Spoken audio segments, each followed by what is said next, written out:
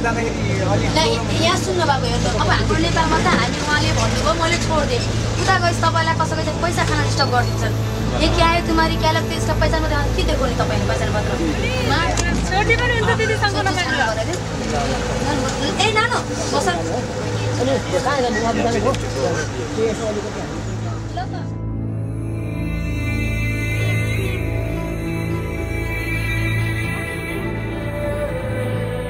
अनि त्यसको त्यहाँ खानापिना बस्न सबै चिज साथ व्यवस्था गरेर हामीसँग राख्छौँ र त्यो राखेपछि अँ, माइती पक्ष पहिलो पक्ष जस्तो आउँछ त्यसलाई भ्याएपछि दिन्छौँ There's a very interesting dynamic happening at the Indian Nepali border.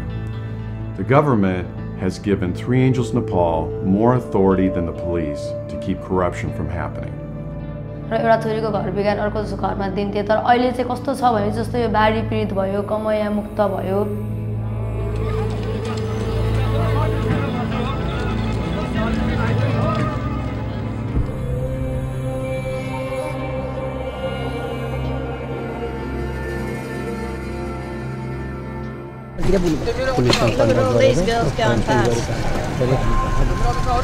Three lots rickshaws.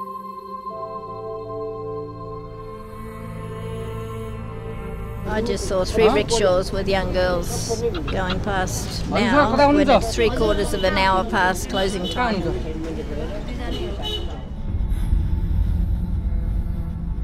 To me, I don't think we have ever in the past come across or faced the problems and the trauma and the horror of what happens to these girls that are trafficked.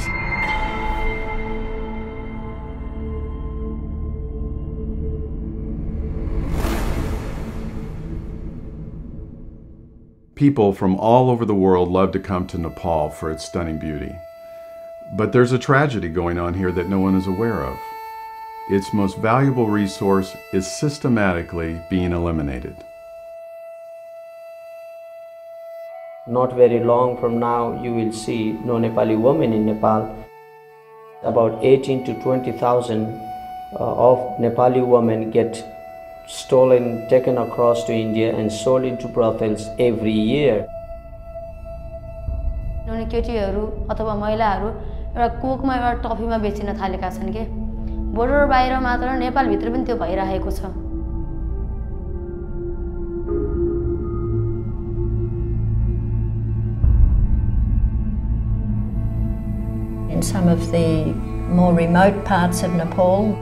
there are villages where there are no girls left between the age of 11 and 20.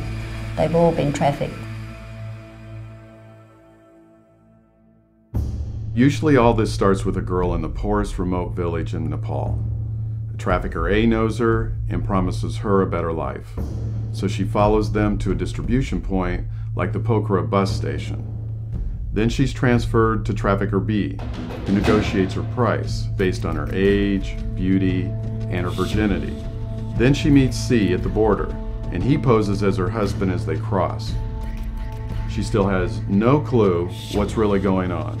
Once they're in India, she's handed off to D, the brothel owner. Most of the time, the girls are not aware as to what is happening, but until they ended up being inside the brothel, then they realized they are, that they were really tricked or trafficked.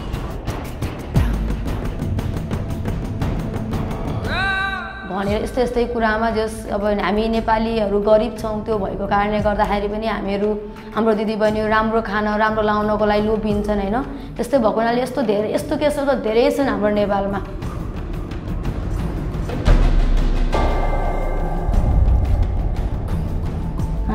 भाँडाहरू माझे माझेर अनि त्यसपछि टेबलहरू सफा गरिदिने गर्ने गरेँ अनि त्यसपछि यता खाना लाउनलाई पनि कपडा सपडा यताउता केही नदिने मलाई अब मलाई अनि त्यतातिर घाँस है दाउरा गराउने जेला जस्तो अब Once they get over the border, there's very little you can do to bring them back.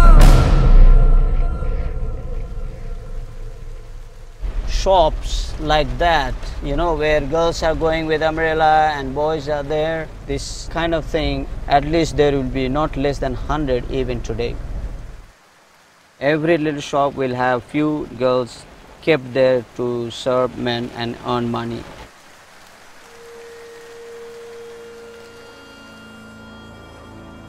मान्छेहरूले यसरी फकाउँदाखेरि जानु हुँदैन भन्ने मैले सोचेँ बम्बईतिर पुर्याउँछन् त्यसरी अरूको बनाइहरू कतै जाउँ घुम्नु भन्ने हिसाबले बाहना पारेर यताबाट त्यति गरेर घुमाउनु भनेर लगेर गयो। त्यहीबाट अनि मलाई दस हजार भाडामा बेचेर गयो। बिक्री गरेर त्यो फर्केर आयो बिक्री गरेर फर्केर आएँ। आउँदाखेरि अनि जो राजु कालु छोरा उहाँ बेचिसकेपछि अनि त्यो राजु जन्मन नजन्मनु भन्दा पहिले अनि राम्रो राम्रो गऱ्यो त्यति बेला। राम्रो गऱ्यो अनि केही दुःख पिडो भन्ने कुरो भएन। रौसी खाइरहन्थ्यो त्यो जसले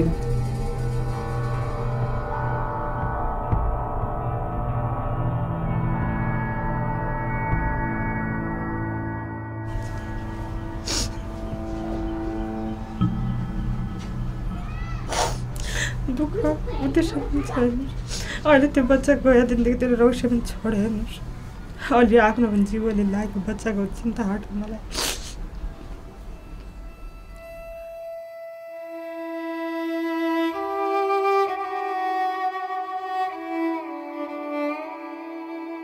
अनि जान्छौ तिमीहरू घर जाउला भनेर भनिराख्ने थियो होइन मैले भने फुच्चीलाई लगेर जान्छु म एकचोटि गेडा उहाँ कसरी गर्छु अस्पतालमा ठिक हुन्छ उहाँ भनेर भने उहाँ गएपछि तिमीहरू आउनु भनेर हामीलाई अनि आउनु नदिने।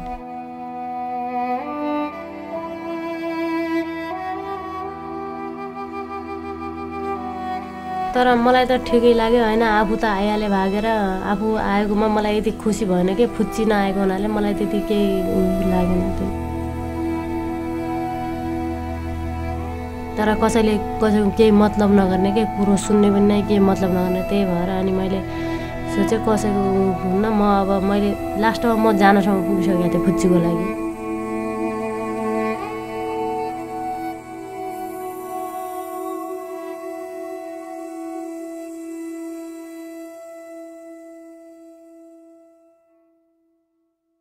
मलाई के अरे साह्रै रुनु मन लाग्यो अनि त्यसपछि मैले आमालाई भने कि आमा त्यस्तो नभन्नु तपाईँ त्यस्तो भन्यो भने मेरो को छ र यहाँ भनेर भने अनि त्यसपछि मैले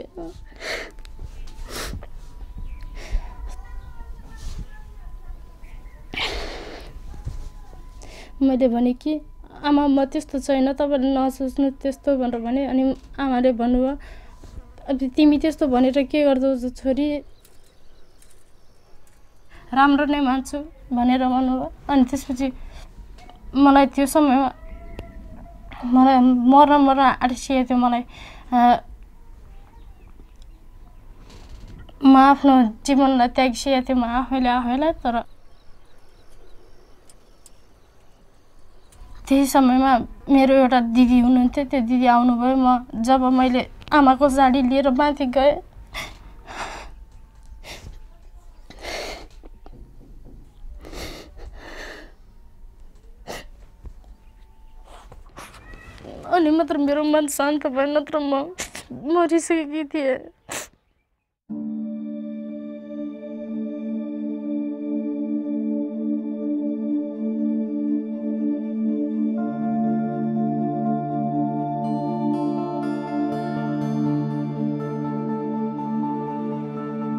After the girls have been rejected by their family, most of them have nowhere to go.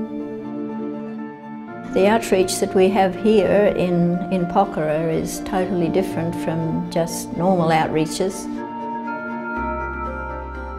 Safe Haven is more than just a home, it's a new start.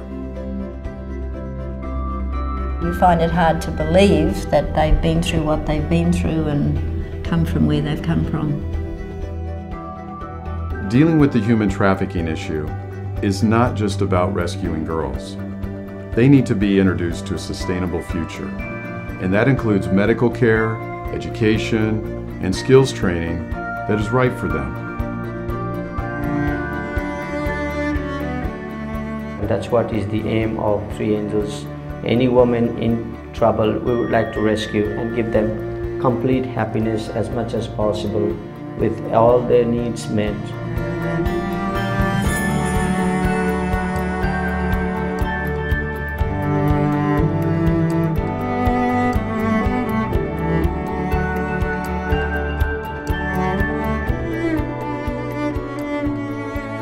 मैले त्योभन्दा नि म धेरै खुसी छु आज यहाँ यहाँ आएपछि त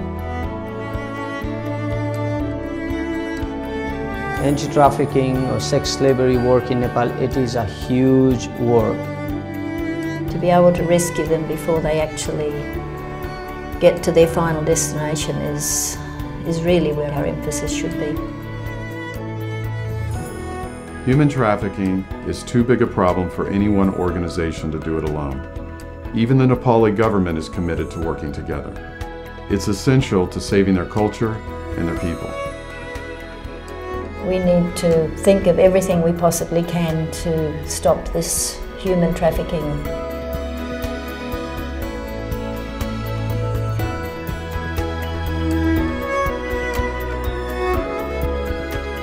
As a parent, I just can't imagine how you would feel if you found that your child had been trafficked.